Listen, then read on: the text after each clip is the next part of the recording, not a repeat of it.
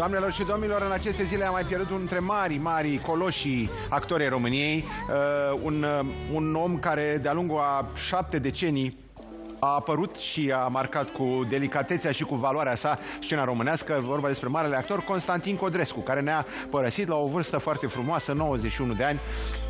Acum uh, câteva zile uh, s-a prăpădit. Uh, toate demersurile legate de uh, înhumare au fost făcute. Uh, din Spania a venit mai repede ca oricând fica sa, cea despre care uh, despre care am vorbit foarte, foarte des. Uh, Anca se află alături de noi. Să rămână Dumnezeu să-l ierte.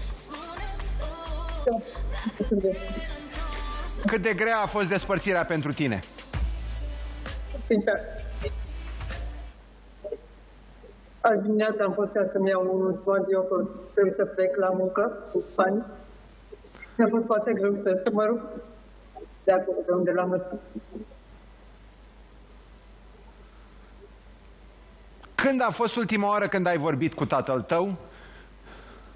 Înainte cu o săptămână când am sunat, mi-a zis că este mai bine și a fost uh, luat de urgență cu o salvare și că i-au dat niște vitamine care pare că se simte mai bine și că uh, a început să mănânce, mi-a zis că uh, o să se trebuia să se, se ridice, să se scă în supragerii ca să se uite la televizor, să el mereu uh, avea acolo un fotol unde e fotolul cu copaci, unde se, se așeza și aici își găsea ziua. Regrete? Ce crezi că trebuia să faci în viața asta alături de tatăl tău sau cu tatăl tău? Și nu s-a întâmplat. Și ai vrea să schimbi? Uh, să stau mai mult cu el, dar a fost așa lucru de timp că după divorț a trebuit să plec și să-mi caut un nou drum și un serviciu mai bun și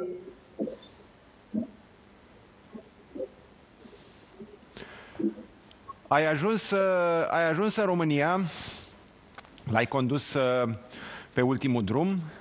Uh, au, știm foarte bine că între familia actuală a marelui actor și tine lucrurile nu au fost uh, line mai niciodată. Măcar acum la căpătâiul maestrului uh, lucrurile au fost firești?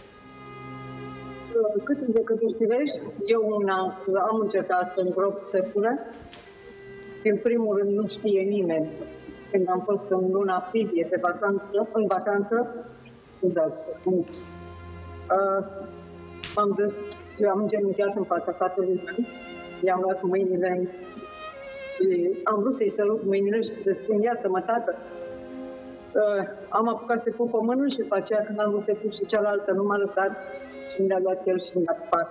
Și mi-a zis, iată, ne, mereu avea obiceiul să spună, uh, Bunul Dumnezeu să ne iartă, ne, foarte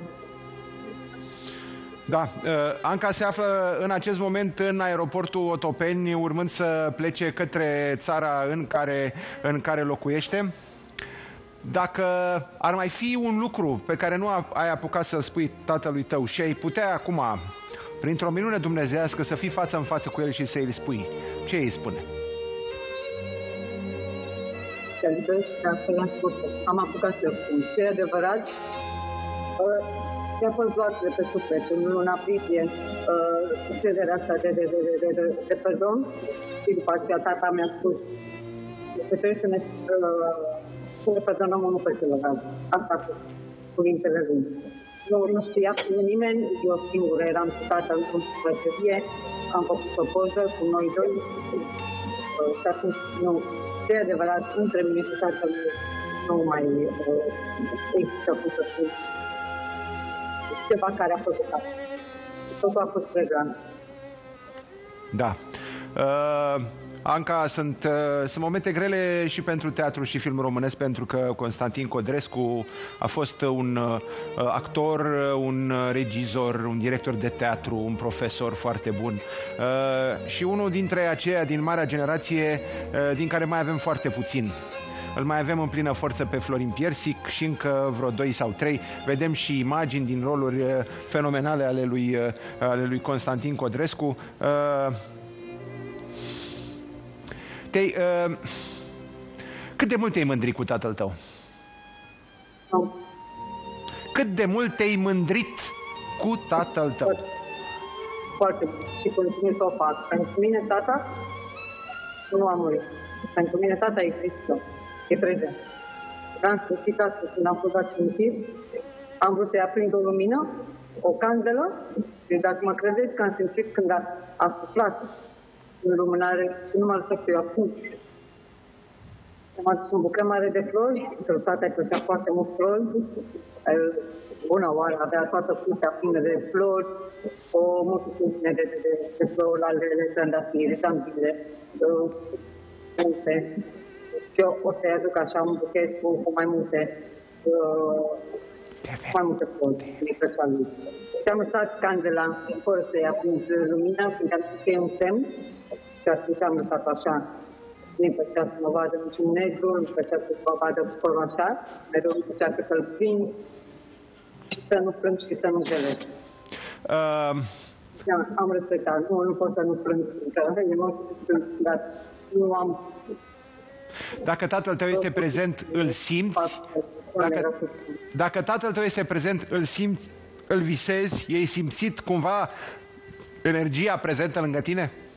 În uh, ziua când m-am sunat seara, uh, fratele meu biserica să-mi spună că a murit tata, dimineața vreau să-l sun, vreau să-l sun, dar cum lucrez internă, după cum bine știți, într-o casă, uh, mu- uh, familia respectivă au avut invitați. Și nu am avut timp să iau telefonul 5 minute să pot să-l sun.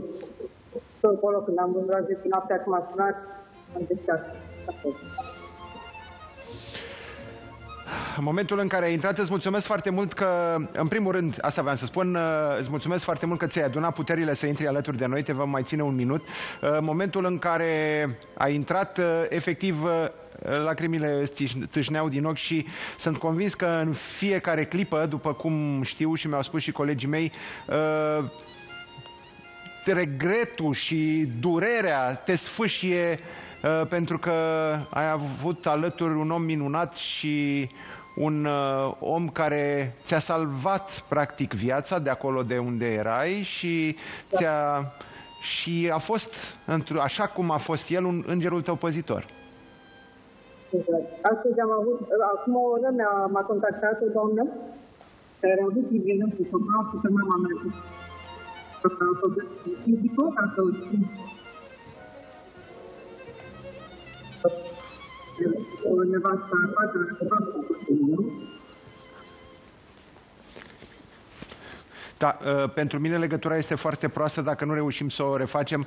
Uh, Eu uh, îi mulțumesc foarte mult, Anca. Anca, îți mulțumesc foarte mult pentru faptul că ai avut puterea să intri alături de noi.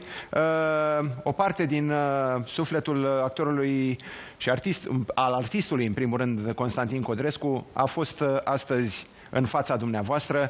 Uh, Anca este printre persoanele care vor face absolut orice ca memoria lui Constantin Codrescu să fie prezentă dincolo de rolurile și toate lucrurile minunate.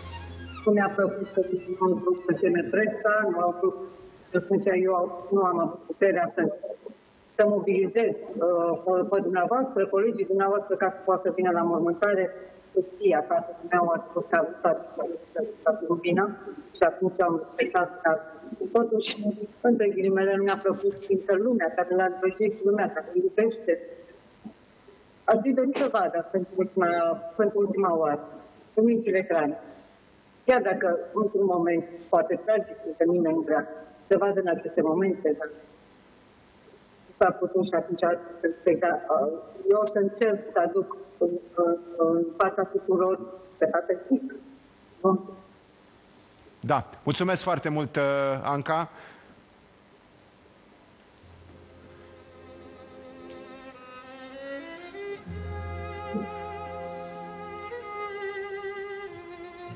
Este un moment foarte greu și uh, ești, Mulțumesc foarte frumos. Am primit foarte multe mesaje de încurajări, condolențe, atât pe pagina tatălui meu, care este administrat-o pe pagina mea. Vă mulțumesc foarte mult. Tatăl există. Există prin voi. Anca, Dumnezeu să-l ierte, îți mulțumim foarte mult. Uh, Pare rău. La dragoste... Pare rău pentru imaginea pe care o am, sunt maghiată. Nu e nicio problemă, Anca. Chiar nu e niciun fel de problemă. Dragostea ta se măsoară în toate aceste lacrimi pe care noi le vedem uh, acum în uh, fața tuturor. Dumnezeu să-l ierte, suntem cu sufletul ală alături de tine. Uh, și Constantin Codrescu rămâne evident pentru totdeauna prin tot ceea ce a făcut alături de cei care iubesc cu adevărat arta. Dumnezeu să-l ierte, mulțumim, Anca Codrescu, drum bun. Mergem mai departe, doamnelor și domnilor, o să schimbăm puțin registrul acum, vom merge alături